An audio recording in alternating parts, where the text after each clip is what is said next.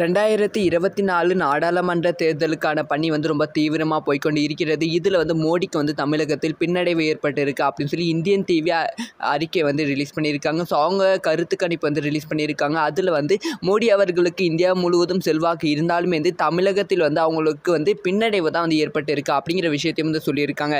முக்கியமாக வந்து இந்தியாவுக்கு நோ ரெண்டாயிரத்தி இருபத்தி நாலு தேர்தலில் மோடிக்கு கை கொடுக்கும் குஜராத் கருத்து கணிப்பில் வந்து தகவல் வந்து கிடைத்திருக்கிறது. குஜராத் மாநிலத்தில் வந்து மோடிக்கு வந்து கை கொடுக்க போகிறாங்க அதை வந்து அவங்க என்ன ஒரு அறிவிப்பு வந்து அறிக்கை வந்து ரிலீஸ் பண்ணியிருக்காங்கன்னா மோடி பாஜக அரசை வீழ்த்த இந்தியா கூட்டணி பலத்த வியூகம் வகுத்து வருகிறது. எனினும் பிரதமர் மோடியின் சொ சொந்த மாநிலத்தில் பாஜகவா அனைத்து தொகுதிகளும் மீண்டும் கைப்பற்றும் என்று இந்தியன் டிவி சிஎன்கே சிஎன்கேஎஸ் கருத்து கணிப்பு கூறியுள்ளது. நாடாளுமன்ற தேர்தல் ரெண்டாய் வரும் இரண்டாயிரத்தி இருபத்தி நாலாம் ஆண்டு ஏப்ரல் மாதம் மே மாதம் நடைபெறும் என்று எதிர்பார்க்கப்படுகிறது. தேர்தலுக்கு இன்னும் பத்து மாதங்கள் கூட இல்லாத நிலையில் தற்போது தேர்தல் களம் சூடுபிடிக்க தொடங்கியிருக்கிறது. பிரதமர் மோடியை வீழ்த்த எதிர்க்கட்சிகள் ஓரணியில் திறந்துள்ளார்கள் எதிர்க்கட்சிகள் கூட்டணிக்கு இந்தியா என்று பெயர் வைக்கப்பட்டுள்ளது.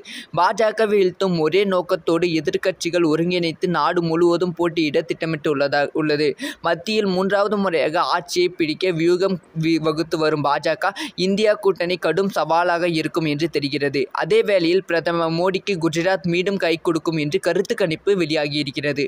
அதாவது குஜராத் மாநிலத்தில் மொத்தம் உள்ள இருபத்தி ஆறு லோக்சபா தொகுதிகளும் பாஜக வெல்லும் என்று இந்தியன் டிவி சிஎன்கேஎஸ் கருத்து கணிப்பு கூறியுள்ளது. குஜராத்தில் ஏற்கனவே இரண்டு முறை பாஜக அனைத்து தொகுதிகளிலும் வெற்றி பெற்றது. வரும் நாடாளுமன்ற தேர்தலில் அறுபத்தோரு சதவீத வாக்குகள் பெற்று பாஜக மொத்தமாக ஆளும் என்று கருத்து கணிப்பு கூறியுள்ளது. தற்போதைய சூழலில் காங்கிரஸ் கட்சிக்கு ஒரு இடம் கூட தேராது என்று கருத்து கணிப்பு கூறுகிறது.